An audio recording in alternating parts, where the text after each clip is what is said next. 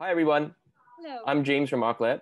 Today, I'm delighted to speak with Ms. Alina Rusu, founder and Learning and Development Director of Business Academia, on the future of learning and development in our new normal. Alina is an entrepreneur. She's based in Singapore, but hails from Italy, and she has extensive professional experience in Europe, Southeast Asia, and the Asia Pacific. She was part of several global project management teams in Fortune 500 companies, enabling sales growth, a customer centric culture, and organizations' digital transformation way before that term became popular. Alina had worked in Vodafone, Randstad, Adecco, and CloudMed before founding Business Academia in 2018. Alina is curious about future trends, innovation, quantum mechanics, of which I know nothing about, and is a passionate science fiction reader. Alina, thank you for joining us today. Uh, lovely summary, James. Thank you so much. I'm really delighted to be here. Thank you for having me. Thank you for joining Shall we us. start with quantum mechanics? probably not, probably not. But how about we start by having you tell us a little bit more about Business Academia and the work that you do? Sure, sure, sure. Thank you so much. Well, at Business Academia, we focus on three verticals. And of course, the main, the, the first one is about learning programs what we do is design and deploy learning programs for corporate and higher education institutions uh, in Asia Pacific and also globally. Then related to this vertical, it's of course business consultancy. And at this stage, we are diagnosing, we are following up, and we are coaching professionals and uh, MBA students. And um, yes, the, the third vertical is about innovation and leadership. This we really want to reactivate as soon as travel is back again, as soon as air travel is back again. Um, why? Because we work with our business partners and we bring leaders from corporate companies in Europe, we bring them to Singapore so they could learn from Singapore as a smart city. They could learn about, you know, the fintech landscape, the innovation and disruption in the fintech world. They learn about mobility, electricity, uh, about uh, green architecture, waste management, uh, you know, all these really nice topics. So yeah, we, we, we hope that we will have good news soon for that uh, third business line. Yeah. Mm fingers crossed. I think the uh, yes. situation is still very fluid, but really, I think uh, hopefully with everybody playing uh, our part, we can have that resume quite soon. So Sure, I wanted let's to focus a little bit about on on the uh, I think the learning and training aspect of your work. Are there like specific courses that you may run for organizations? Yes. So we designed a customer experience uh, management training, and we are very happy and and delighted to have a Singapore. Uh, government support for this program. So therefore, um, we have also another good news for this uh, CX management program that is going to run until 2022 with government subsidies. So that's lovely. And apart from that, we also help organizations as we as i said before to solve some of their most urgent problems business problems um, with design thinking so applying methodologies such as design thinking and, and agility to get those sprints right in order to accelerate their growth. And apart from that we also do soft skills training I'm quoting maybe emotional intelligence at work, negotiation skills, sales, business development, and, and so on. Yeah, but the, the biggest, the biggest, uh, let's say our, we are very much proud of our CXM customer experience management program that's subsidized. Yeah, and we are running that for, um, of course, for organization in Singapore, but also across Asia and Pacific and worldwide now that we can. yeah. Congratulations! I think that's really awesome, and Thank I think you. definitely um, COVID 19 has turned our world upside down. And how has this training approach changed for you in the last six months? Given that we can't travel and hold face to face training workshops as easily as we did before. Yeah, we, we were already looking into uh, tech components for our learning programs. Um, and I guess that's that's where we also met. Mm, that's right. a couple of years back, right? Uh, for ArcLab uh, demo day, it was really a pleasant a pleasant day to discover your platform. So, pardon me.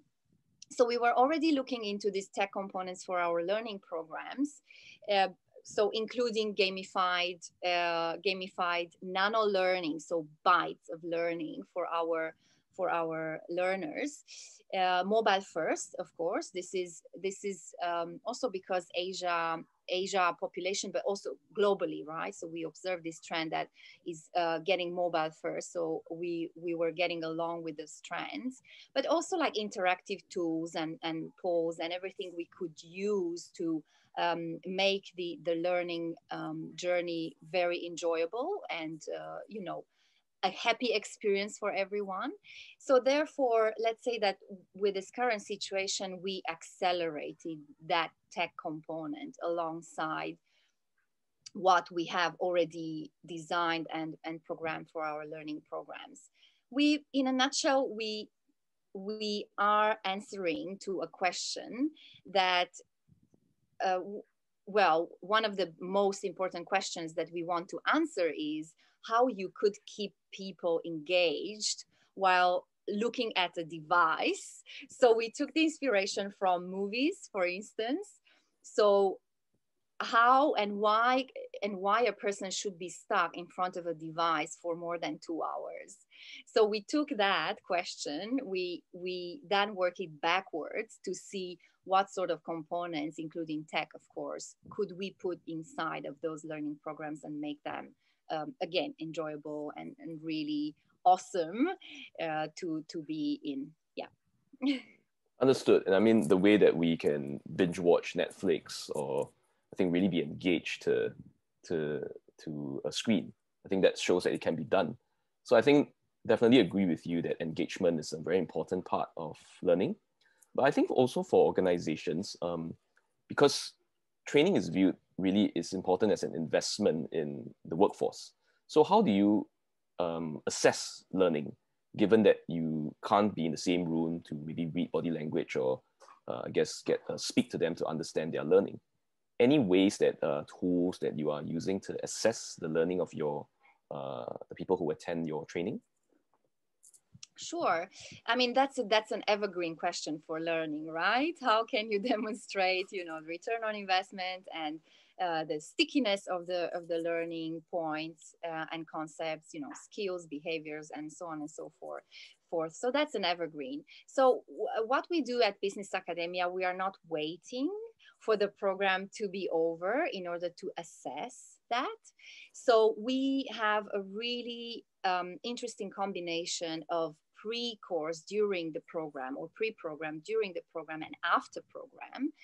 And also we include a lot of assignments. So we include a lot of hands-on practice exercises that we uh, we design even before the let's say the training itself or the workshop itself that can be done again virtually most likely these days or online and offline i will tell you more about that later so anyways we are not waiting for the program to end in order to measure that. Um, what we do is to encourage this practice and really experiential experiential learning.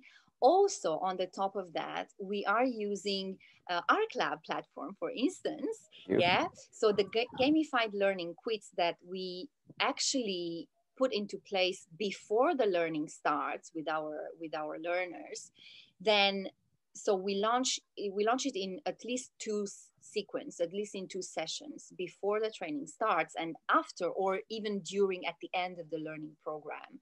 And then what we do is measure. Uh, we measure in terms of percentage how many for instance how many of our learners have improved in terms of knowledge, in terms of concepts, in terms of uh, applying, you know, the knowledge. So we do have along this quiz, we design it in such a way that we can actually measure.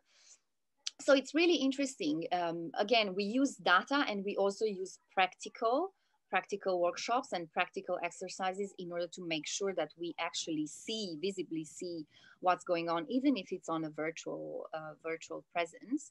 And then with the use of data that we extract from ArcLab that that's really really impressive how much how many insights we can get from there and you know um, start to having qualitative conversation especially on the follow-up and coaching session on where are the strong points. So how many skills for instance were were acquired we can measure that as i said and also suggest where are some of the areas where people demonstrate to be a little bit more weak and then we can further develop. So this is where we for instance encourage a lifelong learning right? A never ending learning process that doesn't start or stops with our learning prog- uh, programs. It actually continues because everything is kind of linked together, if you wish. Thank you. And I definitely agree with the lifelong learning uh, comment. And I think it's uh, really, really uh, important that you've put in what I, if I may summarize, a pre-course as well as a post-course assessment, and then you measure the delta. And that actually is a really uh, simple but effective way of ascertaining learning. So thank you for actually putting that all into practice. Could you share with us maybe some of the client organizations that you serve? And you talked about a lot about virtual, a lot of, can you share with us some of this virtual training that you now conduct for them? Sure, sure. Uh, so again, we are we are running a lot of our uh, customer experience management training uh, for for for the organization that we work with, and this is again thanks to uh, having the IMDA and SkillsFuture Singapore uh, supporting us. So this is really really um, very very good. And then again, we have human design thinking workshops. We have sprints and agility. We also have emotional intelligence and soft skills on on the other hand and from there we go into coaching sessions we go into follow-up implementation and and um, so many more. But we are industry agnostic. Uh, why is that? Because you know everyone has some business problems some business emergency to work on or opportunities. So we actually work um, cross industries. I, I, can quote you know uh, from telco telecommunication to um, consumer goods to uh, airports to universities, uh, cable industry. Uh, we really, we really have media. Of course, we have we have media. We have some other uh, lovely clients we are working and we are serving. Um, so again, uh, it's really not important for us to position ourselves in a specific industry because with the programs that we do, we actually support the implementation of an entire structure when you talk about people you talk about processes you talk about tools we really uh, we are really positioning ourselves also into be um, collectors for instance of business intelligence tools.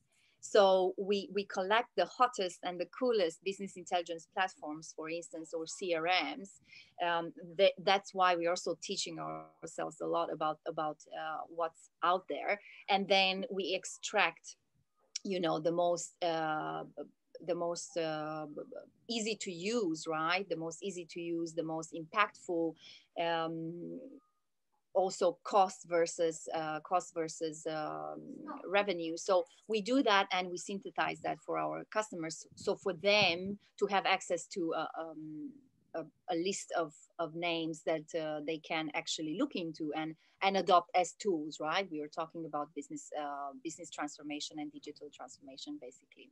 Yeah. Very nice. So talking about trends and intelligence, what are, what do you think are some of these, uh, I guess, key trends that possibly has gone on an irreversible course since COVID nineteen uh, impacted us? Well, um, few are coming into my mind. So, for learning and development, for instance, is um, the integration online and offline. I think that is going to stay and is as relevant as it is for the retail industry or F&B or you name it. Yeah. So the integration of these of these two of these two worlds definitely, um, and and you can actually see right an explosion of of the online for sure. But then when it comes to to the human interaction uh, as you said is also very very important. So we need to we need to understand how to balance that um, according also to what is permitted. But definitely this integration of the online and offline as as i see it. Then then of course uh, data it's very important. So n- no longer you know based on uh, spraying and praying or you know putting out there as much content as we can and then uh, and then hoping and, and praying that our our people and our colleagues will uh, get along with that. Is just looking into um, well cleaning data first of all. So clean clean the data analyze data and extract the the insights from there in order to really understand you know where where we stay and where we should be and what should be done in order to in order to reach to that to that uh, to that point.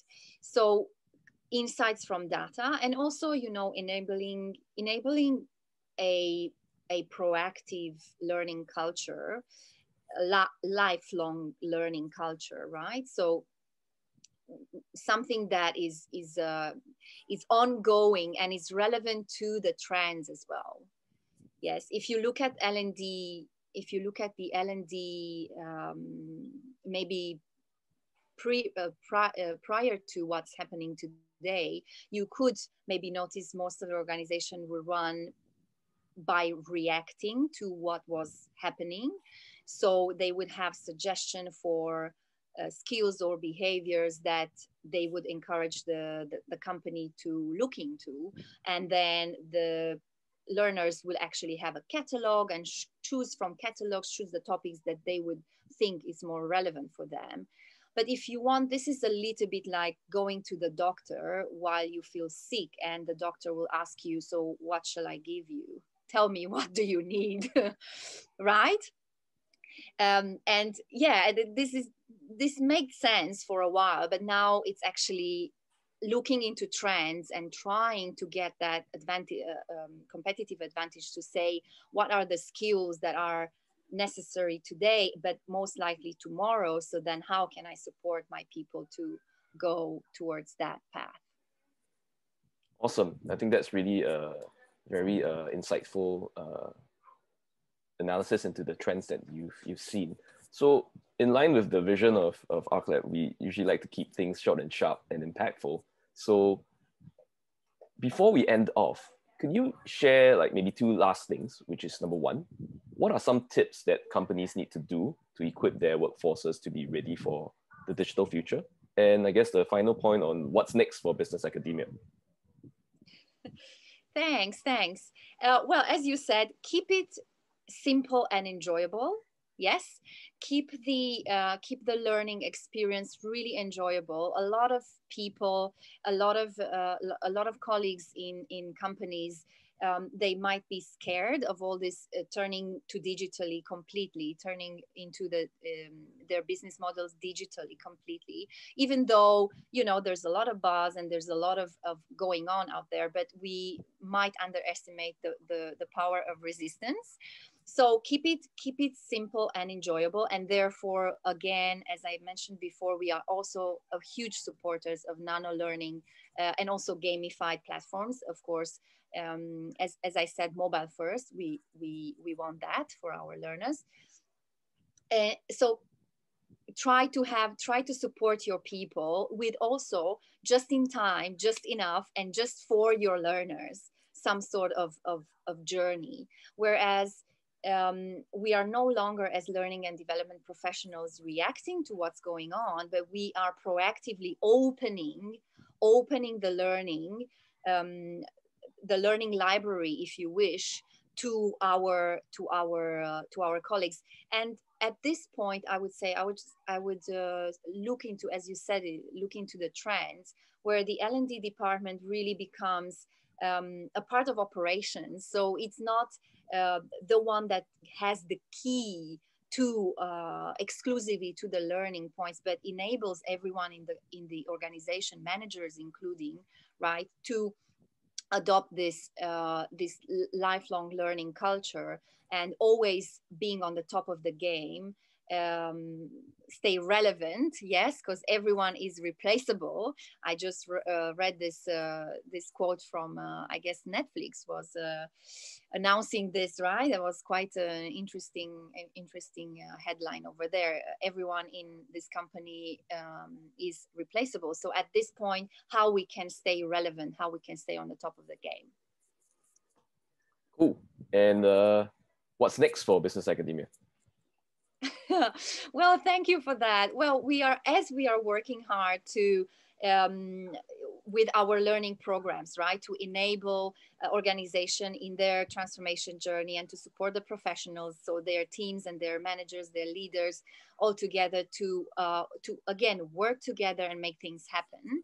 Um, we are also, as I said, hoping yes that we could reactivate again the innovation and leadership programs, so we can make these exchange programs um, between between uh, Singapore, Southeast Asia, and and Europe and some other parts of the world, to just to learn, you know. Um, uh, awesome awesome things about uh, the cities of the future we can get really uh, very good inspiration from from singapore on that side and um, on another note we are working on some other cool projects one of each is to um, have a mobile app that supports um, people that have been made redundant and people that find themselves without a job in, in order to supporting them to exchange their skills for other skills that are relevant uh, on the workplace so so we are really working on on different projects we are very enthusiastic very happy to be also in this in this uh, industry in the learning and development um, and innovation. So yeah, a lot on uh, on our plate. as I know you have a lots of projects as well coming up. So really nice. That's right, and uh, I guess thank you for really sharing uh, what uh, you have been doing and will be doing, as well as the tips for organizations to take on board, just in time, just enough, and just for you.